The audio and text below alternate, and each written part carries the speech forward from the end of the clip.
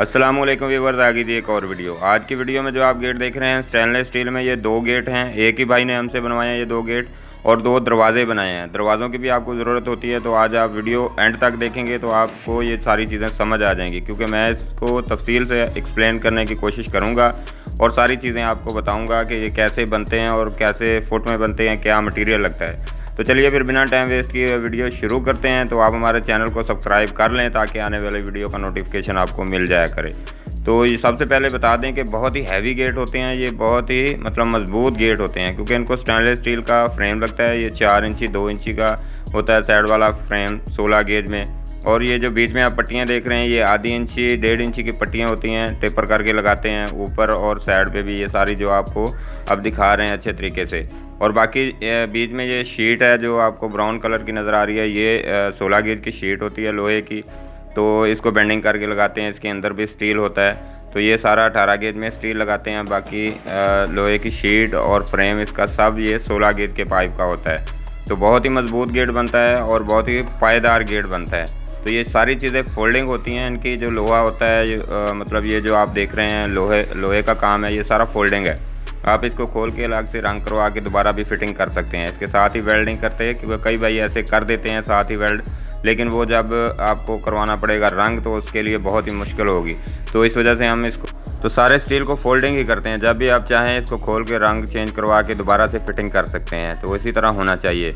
और ये एक दूरबीन भी लगाएँगे इसको, आई स्पॉट जिसे कहते हैं। और ये एक लाख लगवाया भाई ने, सबसे अच्छे वाला लाख है, ये पैंतालीस का मिलता है इलेक्ट्रिक लाक तो ये भी लगा के देना है, अभी ये फिटिंग करना है, अंदर की तरफ़ से फिटिंग करना है, क्योंकि अभी बता रहे हैं कि इस तरह फिटिंग होगा। तो अब मैं आपको इस गेट का साइज़ बता देता हूँ। तो ये चौड़ा था जी, दस फिट का, और ऊंचाई इसकी आठ फिट थी। थोड़ा बड़ा गेट बनाया है, दस बाई आठ का। तो रेट इसका बनता है जी दो हज़ार रुपये पर फुट के हिसाब से बनता है जी। जितना ये हैवी गेट है, उस हिसाब से दो हज़ार रुपये पर फुट के हिसाब से ये गेट बन रहा है। तो दस बाई आठ की पमाइश हो गई जी, अस्सी फुट अस्सी फुट को दो हज़ार से ज़रब देंगे तो एक लाख साठ हज़ार का ये गेट बनेगा। और इसके साथ विकेट गेट नहीं है, इसके अंदर ही जो खिड़की रखी है और अलग से विकेट गेट नहीं बना।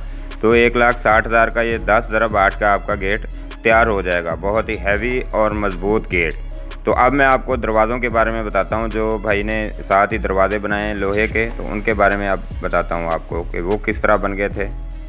तो ये दो दरवाजे भी आप देख सकते हैं, ये पाँच फुट चौड़ाई है इनकी और सात फुट ऊंचाई है दरवाज़ों की।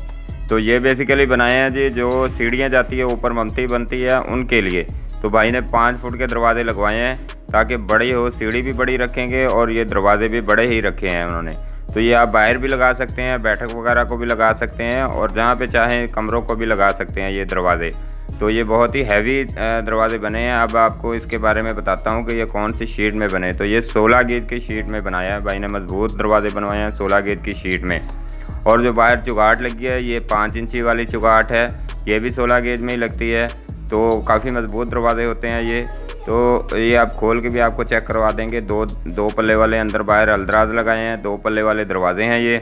तो इनका रेट बता देता हूँ तो क्योंकि 16 गेज का दरवाज़ा तो काफ़ी हैवी ही बनता है तो ये पैंतालीस हज़ार का एक दरवाज़ा बना था बमा चुगाट के और ये इस तरह रंग वगैरह करके। तो दो दरवाजे बन गए थे नब्बे हज़ार के, क्योंकि इनको काफ़ी हैवी मटेरियल लगा है। अगर तो आप इनसे कम करवाना चाहते हैं, अठारह गेज में बनवाना चाहते हैं तो वो तीस बत्तीस हज़ार तक का दरवाज़ा बन जाता है। तो ये आपने देख लिया दरवाजे और गेट। तो ये एक ही भाई हैं जिन्होंने हमसे बनवाया है। संबड़ियाल का इलाका है वहाँ पे ये जाएँगे गेट।